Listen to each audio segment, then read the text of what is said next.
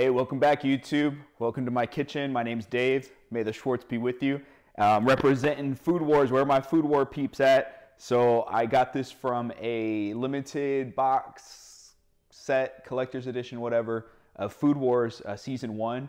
So got my little uh, apron on. What I want to do is a video for this month. I basically have a Friendsgiving that's coming up this weekend with some neighbors of mine. So we're all pitching in, bringing different items, and we're just going to get together and have a really nice meal and enjoy each other's company. And I thought to myself, let me share some of these recipes that I have with you guys. So maybe you have a Friendsgiving or a Thanksgiving that's coming up, um, or a potluck at your work, and they're asking you to bring something.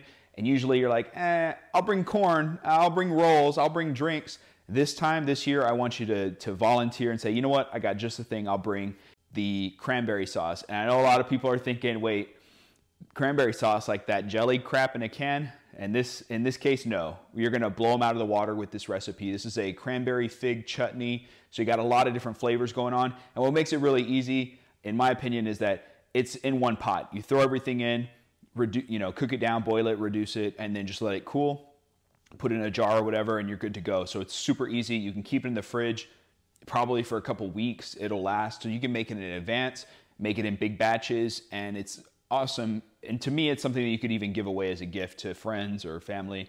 Um, so I'll go over the details. Before we do that, please like this video so other people searching for Friendsgiving recipes and things can find it.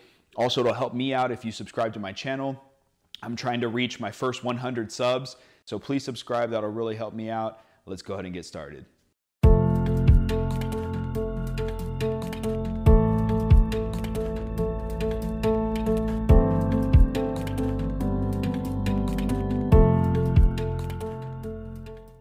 All right, so first things first is you're gonna go ahead and rinse off your cranberries. Just make sure there's no twigs or stems or anything there. And then just go ahead and do the same, rinse off your orange and we're gonna take the figs. You can get whichever kind you like california figs or whatnot. I have these here.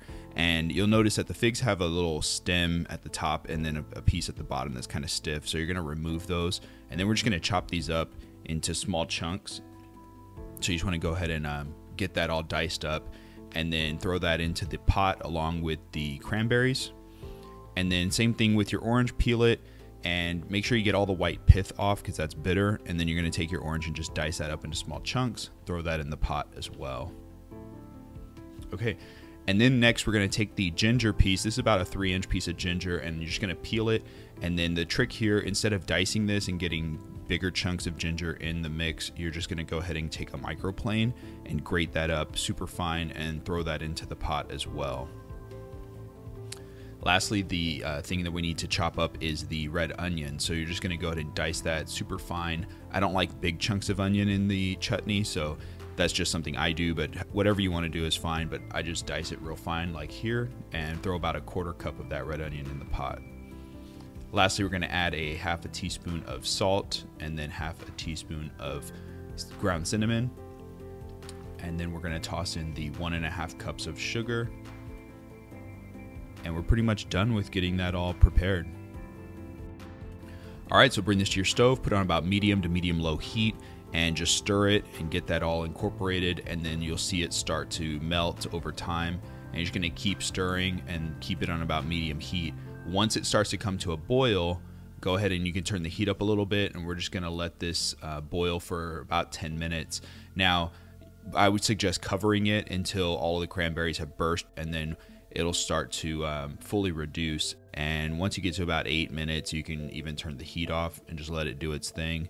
And it'll eventually thicken up like you see here. And once that's cooled, just go ahead and let it set, maybe 30 minutes or so. And then you can put it into a jar and you're good to go. And I promise you'll never go back to that jelly canned stuff ever again. So let me know what you guys think if you try this recipe out. Thanks for giving it a watch, and I definitely look forward to seeing y'all on the next one. All right, take care.